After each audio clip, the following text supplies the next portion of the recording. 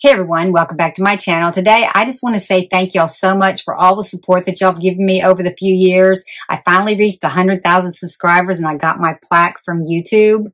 I just want you to know that that is not all about me. It's all about y'all and the support that you have given me and all the nice, kind words that you have given me throughout the three years that I've been on YouTube. And I appreciate it from the bottom of my heart and I thank you. I love you guys. And uh, I just would not be possible without y'all. So Today, I'm going to show y'all some more fall DIYs. I've got six of them and let's get started. I'm just taking a fuzzy sock and I'm just going to cut it straight across the heel section. And then I'm going to fill it pretty full with some polyfill. You can make it as big as you want to with this because these socks really do stretch. And then kind of just roll it around there so you can kind of get it pretty even and flat on the bottom. And then I'm just going to take a rubber band and tie it around the top part. Just kind of wiggle it a little bit. It'll get pretty, it'll get pretty flat. Then I'm going to take some jute that I have. I'm using some brown jute. And I'm just going to tie it around the top. Now leave enough uh, hanging over the edge because you're going to start tying off your rope as you go around it. And just going to go around it, pull it tight, go around the stem, tie it around the stem, and then you're going to tie it off with that rope that you just had, the, the leftover hanging over the edge.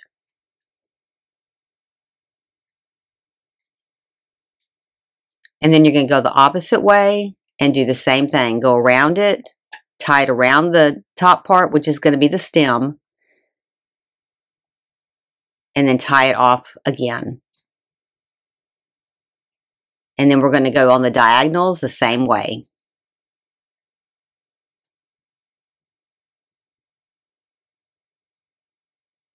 And you're not tying in a knot, you're just tying it one time. And then do the next diagonal and do the same thing and that'll finish out your pumpkin. And if you don't get it exactly even, you can move those around. You can move the little sections around after you get it tied off. Just kind of even them out.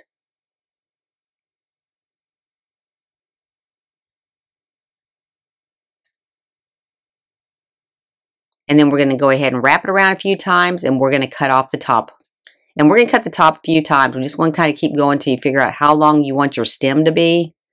And then just kind of keep trimming it up. And then when you get to the very top, just kind of get all the fuzz off of it, trim it off one more time, and then we're going to start gluing it on. And then we're going to kind of go into the center until we have it completely filled in. Go all the way down to the bottom, tie that one off, and then you can go ahead and cut your short, your short rope. And then we're going to start gluing it at the top and, and can go ahead and seal it in. You want to go ahead and just kind of keep going around in a circle until you have the top part completely covered.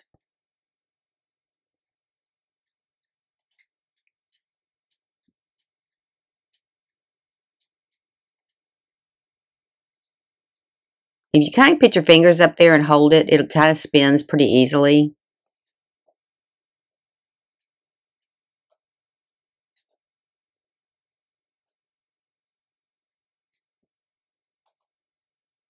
And then just cover it up completely at the top and go ahead and trim that off. And then we're just going to add a leaf to the side of it. That was pretty easy. The other side of the sock, just tie up the area that you cut and then take a string and tie it around it and then just turn it inside out and then you'll have a, base to start a second pumpkin. These were super simple. You can make this with just about any sock. Let me know in the comments which one's your favorite today. Okay, for this next one, this is a magnolia leaf. I'm giving you the pattern for in both PDF and SVG, and you're just going to take each one, and on the curved end, you're just going to put a little bit of glue and pinch it together and keep going till you have them completely done. I'm using three different colors, three different shades. This is just felt. You can get it at any of the hobby stores. And I'm just going to use three shades in this because I wanted some depth. Then to attach it, I'm just going to attach them next to each other an inch up. So you're going to glue this one an inch up from the stem on that one. And on the second one that you bring in, you're going to just put it where the, the top of the leaf just overhangs the stem on the first one. And just going to keep going and building up until you get it as long as you want it. Just don't glue the top part of that leaf to that other leaf. And just pull that one in. You're going to go an inch from the bottom of that stem and glue it to that stem. And then the next one that you bring in, again, you're just going to overlap the top part of that stem just to cover up the bottom of that stem area. And just keep going until you get it as long as you want. I made mine about five foot long and I'm just going to use it for a table runner. And just alternate with the colors so that you do have a consistency throughout. And you can use this for Thanksgiving. You can turn around and use it again at Christmas time. This is something that you can keep in your home any time of the year. But it really doesn't take that long. If you're using the PDF to cut it out by hand, I cut several of them out by hand and they go pretty quick. Just watch a movie and cut them out at the same time. It goes fast. And then once you get it to the length you want it, then just stop. You can make several of these. If you're putting them on a chair, you can make several of them just to loop on the back of a chair. But they turn out really pretty. Okay, I really like the way this garland turned out. I'm going to run it down my table. You can run it down a tray. You can hang it on a mirror. You can hang it on the back of a chair. You can do so many different things with this little garland, and it really doesn't take that long to make. Let me know what you think in the comments below. For this next one, I'm using two of the Dollar Tree tag signs, and I'm just going to heat it with my heat embosser just to kind of loosen it up to get all the stuff off of it. And just go ahead and you want to peel all the paper off. Spritz it with some water, and then you can use a razor blade to kind of scrape the rest of it off. You want to get all the way down to the board. But there's the board. You can see it. It's darker underneath. That's where you want to get to. And then I'm going to take some um, 200 grit sandpaper, and I'm just going to sand both of my boards, both the front and the back. And then I'm just using some wood filler and I'm going to fill in the holes. Just kind of put your finger on both sides and you can get it put, put in there pretty quick. Just hold one side while you do the other side. And then go ahead and sand off those areas right there. Okay, next I'm going to take a two and a half inch washer I got at Lowe's and I'm going to mark the center hole because that's where I'm going to drill it out so it matches the washer. And just take your drill and drill a hole through it and then you will have to use a little razor knife too to open it up the rest of the way. You just want to make sure you don't see any of the wood or any of that board outside of that washer. And you can just kind of take your um, drill and kind of waller it out a little bit. Kind of just tilt it at an angle and it'll start opening up a little bit more. You don't, if you don't have a drill bit as big as that hole, just kind of keep working it and you can get it opened up. And then just take a razor knife just to kind of finish it out. Next, I'm taking some Waverly chalk paint in um, truffle, and I'm just taking a chip brush, and I'm kind of going over my board. Now, I'm not going to seal it in completely or paint it completely. I'm just taking the chipboard and kind of roughly going over it so you still can see some of the cardboard underneath it. Okay, then I'm going to use some Hazelnut by Waverly. It's a chalk paint also, and I'm just going to take my chip brush, and I'm just going to kind of brush it randomly onto here. And I'm kind of doing it at a, a, at a side angle, just kind of get a little color in here. And then I'm doing the same thing with some black paint. And if you take your paintbrush and you spritz it with some water, it makes it a little bit easier to go on without having too much paint. Next, I'm going to spray paint my washers with some black paint.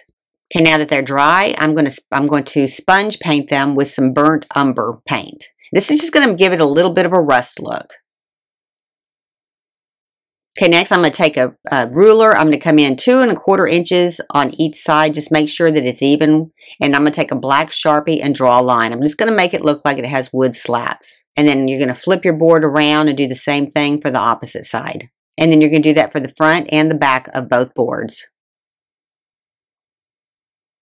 Okay, then we're going to come back in with some more of that brown truffle and just kind of lightly go over those lines just to kind of soften them up. To attach the washer, I'm going to use both E6000 glue and hot glue together to attach these to my board. Just make sure that you get your hole centered. I'm going to attach my two boards together kind of at a diagonal. And again, I'm using E6000 glue and hot glue to attach these. And kind of make sure that you got, got them even at the top. Okay, then I'm going to take a couple little popsicle sticks to put underneath one side of them after I get these glued together, just to kind of lift it up and keep it level while it's drying. Okay, next I'm going to take some words and a little uh, leaf. I got all this at Dollar Tree. I'm going to go ahead and fill this hole in too because I want it to be smooth. And then I'm going to paint these with a chalk paint by Waverly called Mineral. I'm going to paint all my pieces with this. And then I'm just going to put these all on my board and I'll kind of show you as I go along. I'm going to go fast a little bit, but I'm just going to show you exactly what I'm attaching.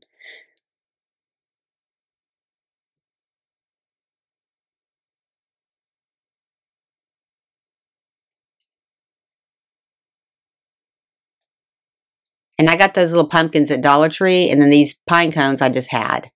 And then the acorns, you can get those at Hobby Lobby. They have those. Okay, and then to hang these, I'm going to give each side its own piece of jute. And then I'm going to um, hold it up and tie the two pieces of jute together so that they're level.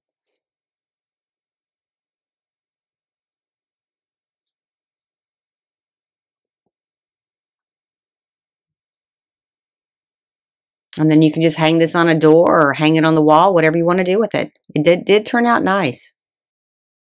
This is definitely a rustic decor piece. I love this piece. Let me know in the comments if you decorate rustic. This is my style at my house. Let me know what you think. This next one, I'm using a six and three quarter inch um, plaque. And I'm just going to take some of the Dollar Tree racetrack and I'm just going to screw it onto my plaque. Now cut off the bottom because all you need is just the very tip where you can put your screw through. And I'm just going to drill it in, right into my plaque.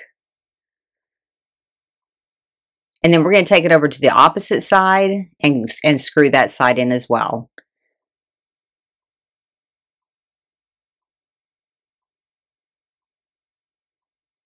And then pull it onto the other side, cut the other side off, and go straight across on that one.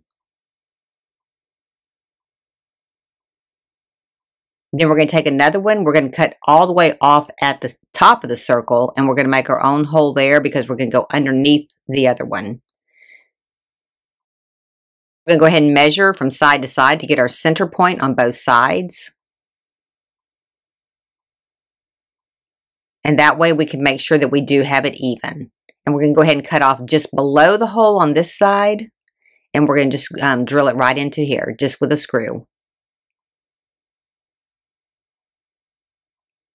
and then do the same thing on the other side where you made that mark.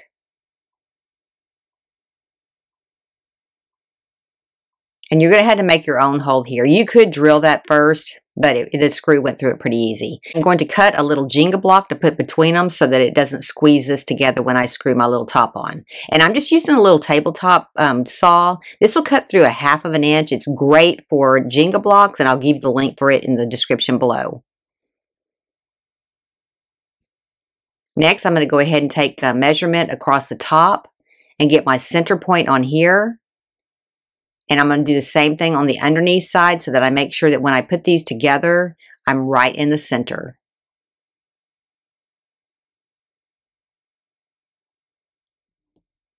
And then I'm going to go ahead and drill a hole through these and through my Jenga block to connect all this together.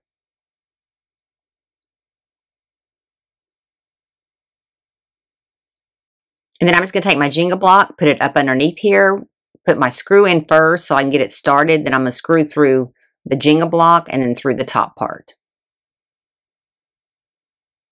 And you don't need a big piece of Jenga block, just enough to go in here. I can actually make that piece a little bit smaller, just enough to get it lifted so that you can put those two together without squeezing them together once you put your top on. And then I'm just going to put the ball right on top and screw it in.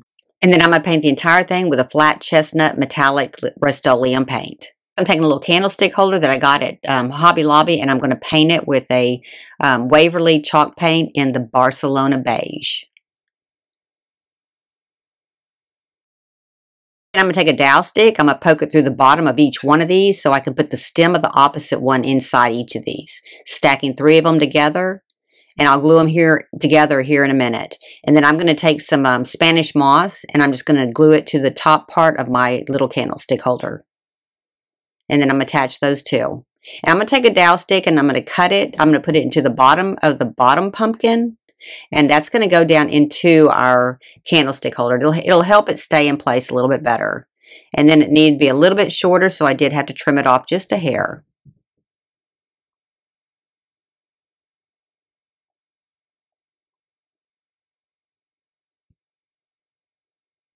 I'm going to go ahead and glue in my um, Spanish moss. I'm just making a pumpkin topiary.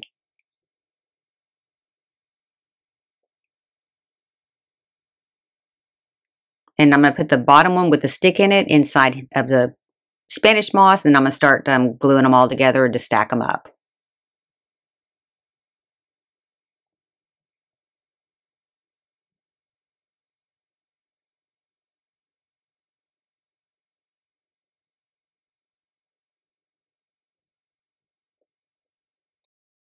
So I'm giving you a little bit of different angle here. I'm going to glue my topiary right into my little um, stand here. And then I'm going to start styling it. And I'm going to kind of just go fast. I'm just going to put pumpkins and I'm going to put pine cones in it and some more of the Spanish moss. Just kind of put the Spanish moss, fill it up in the bottom, and then go ahead and glue it in. And then I'm just going to start adding pumpkins on both sides. And then I'm going to add a bunch of pine cones to it as well.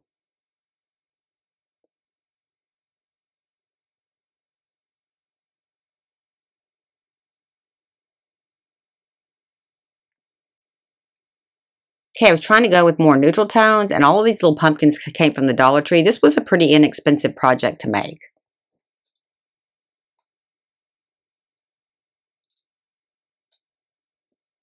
Now I'm putting a little bit of um, Spanish moss between each of the pumpkins as well.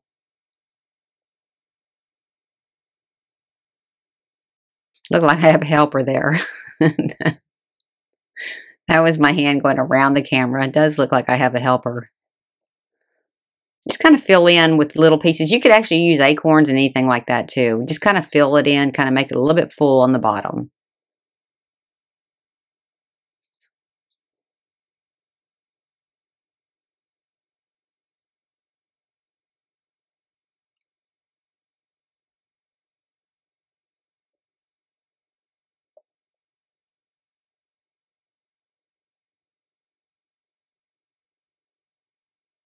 And then I'm going to add a tag to the top. And I got this tag at Dollar Tree too. I got it last year. I love how this piece turned out. I really do like to decorate with neutrals at my house. Let me know in the comments what you think and if this is something that you would put at your home. Okay, next we're going to take a pool noodle and we're going to cut it at two and a half inches in length. And we're going to cut five of them. This is real similar to the little pumpkins I did uh, last year, but we're going to use five of them. And this actually, putting five of these together gave all the definition of what the pumpkin does look like. It gave it all the curves, so it did look more like a pumpkin. And then we're just going to connect them all together. Just kind of space them out a little bit, and then we're going to glue them together. Kind of get them in a circle, and then just go ahead and start gluing them in.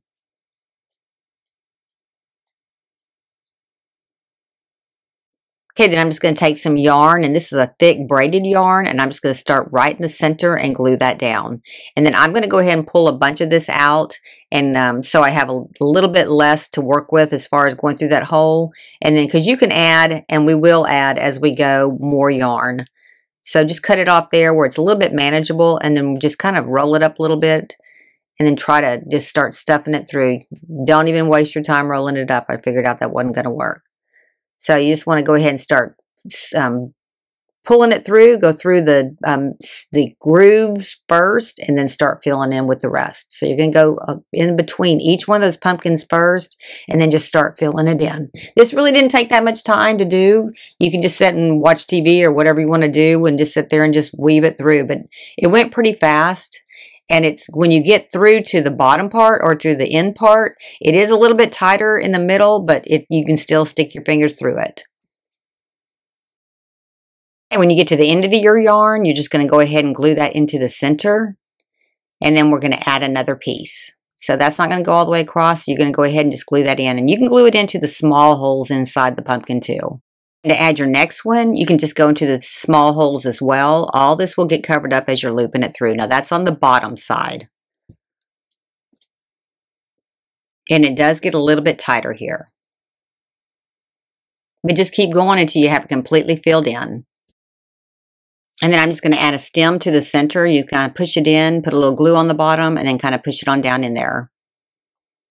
And then I'm going to add a couple of those little magnolia leaves that I made earlier. Just kind of pinch them up there and we're just going to glue those right to it. And this was a pretty simple pumpkin.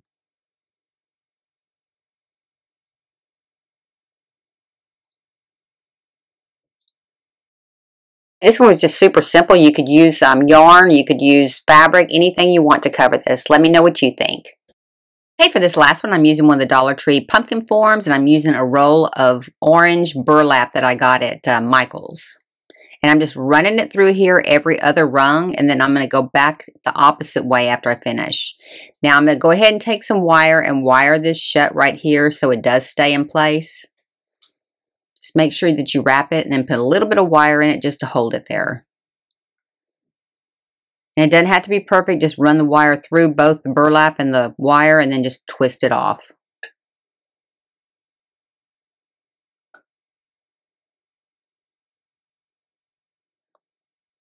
And then go ahead and just start weaving it through. Now you're going to go every other you're going to go the opposite way on this side. So when you first started on this first rung, now you're going to go through over that rung and keep going and keep going until you have it halfway full. And keep pushing it down as you go because you want it to be pretty thick. And then once we get to the halfway point, we're going to start gluing it down a little bit.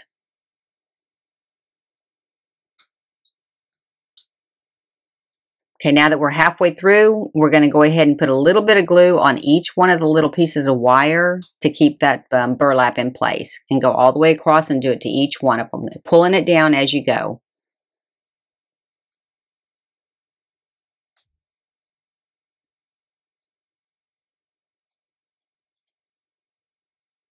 So I'm just going to take a paper bag, just a small paper bag, and you can use craft paper or whatever. We're just going to kind of wrap it around the wire so it's a little bit thicker so we can put our leaves on it.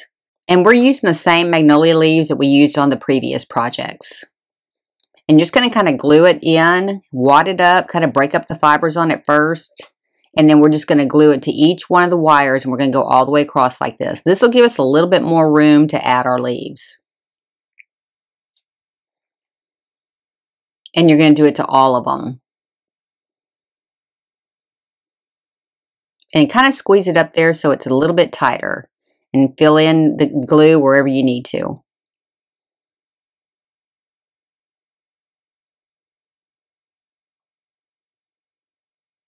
And just keep going until they're all done. Next, we're going to use the same leaves that we used in the previous projects, the one I gave you the pattern for, and you're going to glue each one of them and have a bunch of them ready so that you can go pretty quick on your wreaths. To attach these, we're just going to take two of them, glue them together, starting at the bottom. And then we're just going to work our way up. And then we're going to cover them up a little bit with the orange that's there too. So just start with two at the bottom and then we're going to come in with one in the center and just kind of pull that, that up over the top of it to cover at the bottom of the leaf. And then just add one in the center. And then we're going to add two again below that one that we just put on. So you're just going to kind of alternate with two and then one. And you don't have to glue them together um, to start this because you're kind of going to randomly put them in here. It's a little bit easier if you don't at this point. And you're just going to keep building all the way up till you get to the top. You don't want to go too far over the edge of the pumpkin, otherwise it won't look like a pumpkin anymore. But just kind of keep going until you get it almost to the top. And if you have to trim out that one at the top, you can. But you kind of want to just stop at the top of your pumpkin. Just kind of, you can kind of push them down a little bit farther as you start going just to get it um, in there good.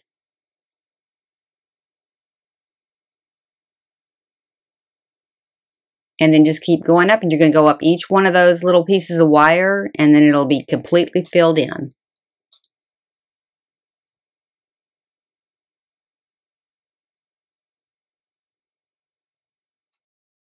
Next, I'm just going to take some jute twine and I'm just going to wrap it around the stem all the way up to the top.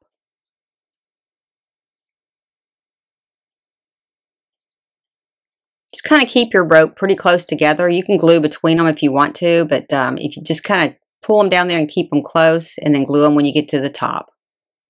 This just kind of did finish it out pretty nicely. And then I'm just going to add a bow. And if you want to know how to make this bow, you can stay tuned to the end of the video and I will have a real quick video on how to make a bow. And I'm just sticking it right through the wire, around the wire. And then I'm just going to go ahead and twist it off in the back to hold it together. Next, I'm just going to take a piece of ribbon and I'm going to make a loop. Now, the long part hanging below, that's the one of the tails that I'm going to have. So just however long you want that to be. And then make your next loop and then wrap your wire around that. And you're going to keep going and adding a loop at a time and wrap your wire around it. You want to start smaller um, loops in the beginning and then you'll gradually add bigger loops. But just keep pulling it around there and just take your ribbon and one wrap or two wraps each time you go. And then before you know it, you'll have a pretty big bow. And just kind of keep holding it together as you're going. But that wire, wrapping that wire is what's going to hold this all together.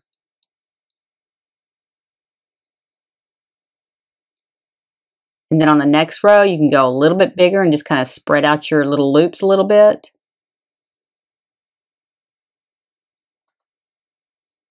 And you can use a wired ribbon or a non-wired ribbon, it doesn't matter. So your next row, you're going to make a little bit bigger loop, wrap your wire around it. And just keep adding your loops next to each other and wrapping your wire. This is an easy way to make a pretty, pretty bow pretty quickly.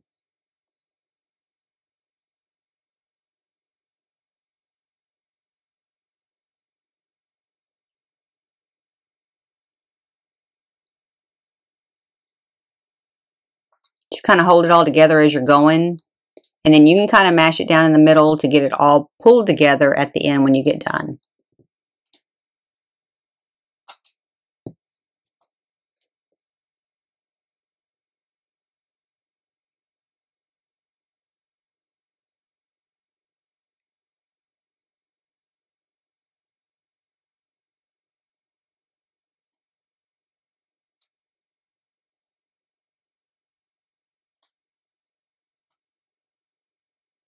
And then I think that's going to be my last loop. And then I'm going to cut it off so that I have a matching um, tail on it and, like I did the other side.